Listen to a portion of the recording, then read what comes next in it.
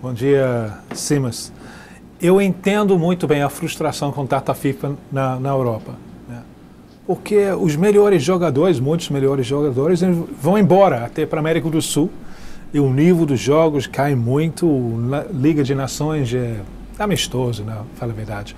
Mas aqui, aqui, olha, a gente ganha todos esses jogadores maravilhosos de volta, né? O nível sobe é você tem uma coisa dramática, gloriosa. Você tem a, a impressão né, dentro do estádio que tem uma coisa importante acontecendo ali. Olha as histórias que a gente tem que contar hoje durante o programa. Então, pessoal, bom dia e vive as eliminatórias sul-americanas. bom dia, Simas. Começou entusiasmado é, o nosso Jim. Ele gosta de eliminatória. É, adora a eliminatória. Olha que coisa interessante. Não, mas foi bacana, foi bacana, foi bacana ver o jogo do Brasil, é bacana ver o jogo e tal. Mas Argentina e Paraguai, golaço de bicicleta. É interessante, mas eu não sou um entusiasmado como você por essa questão da, da data FIFA, ainda mais nessa reta final mas vocês, campeonato vocês têm outros motivos que se é, chama 30 de novembro, então é, mas... você é um caso à parte. Agora, de novo, é interessante como, só um pequeno alerta aqui, eu sou de uma geração, a Barreto também, em que o Brasil e Venezuela era garantia sempre de um placar elástico, né? É, e é dessa um vez. impressionante. O Brasil Isso, sairá das eliminatórias sem vencer a Venezuela. Sem vencer a Venezuela. Isso nunca deve ter acontecido. É.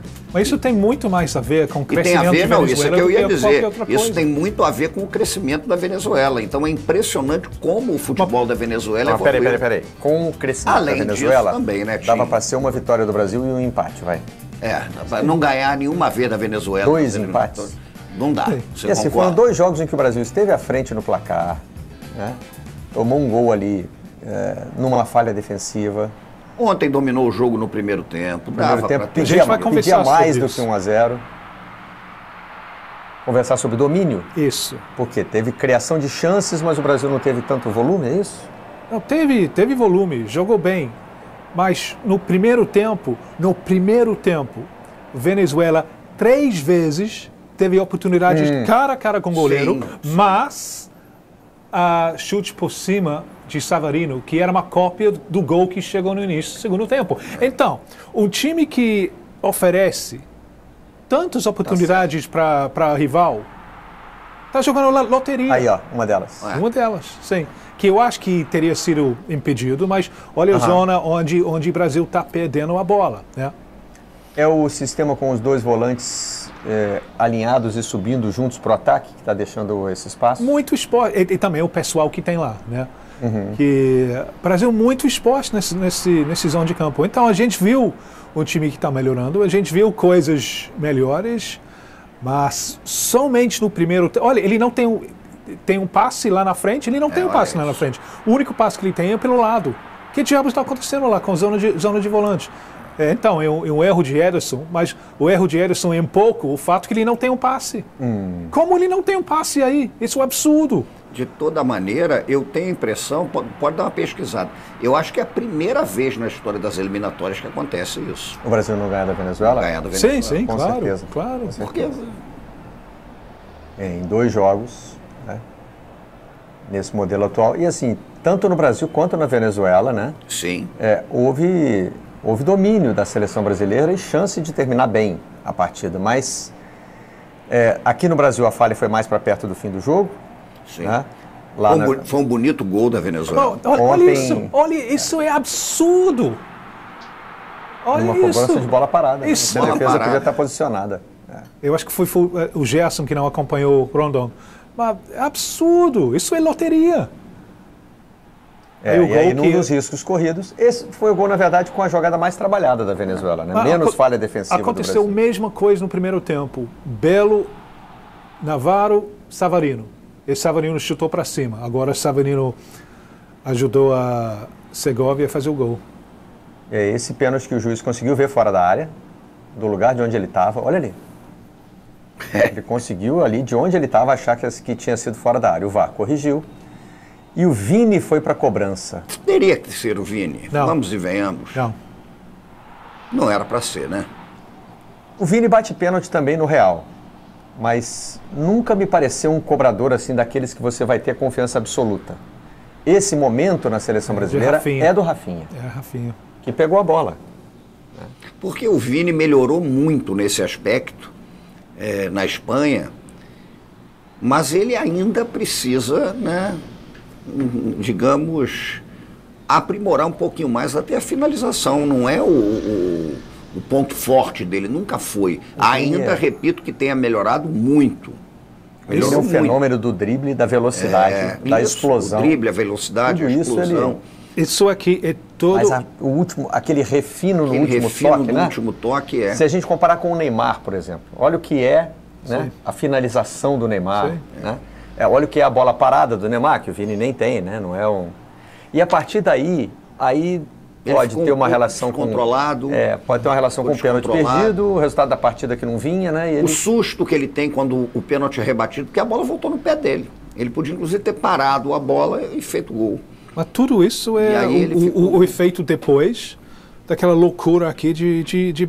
As pessoas tratando o Ballon como coisa importante. Tudo isso é, é- é resultado desse, desse- dessa Então, o que loucura. você acha que pode ter rolado aquela coisa é o primeiro jogo dele, precisa ganhar Sim. confiança na seleção, depois Ah, perder precisa a bola mostrar de ouro. que ele- É, Eu não sei Então se é tudo, mas acho, acho que foi um elemento importante aí. Acho que o Vini, mesmo sem a, a discussão eh, da, da bola de ouro, ele está sentindo uma pressão de representar mais para a seleção brasileira, de ser importante, de ser decisivo. Ele já tinha sido decisivo naquela arrancada, chegando antes do goleiro e sofrendo o pênalti. Pronto. É, o- aí, ó. Nessa jogada aí, ele teria ganho o jogo. Grande bola de Gerson. né? Se, se fosse o Rafinha a bater o pênalti, ou se fosse ele, daria no mesmo. Eu, eu não sei se o Vini está precisando.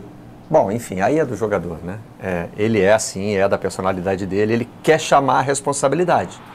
Aí vai ter que passar por esse tipo de situação, vai ter que aprender a lidar com isso. né? Tem algu- algumas Quando coisas, dá errado, chamar algumas coisas que eu gostaria de frisar sobre essa coisa de, de Ballon d'Or. Primeiro é, é por que isso é tratado com tanta seriedade.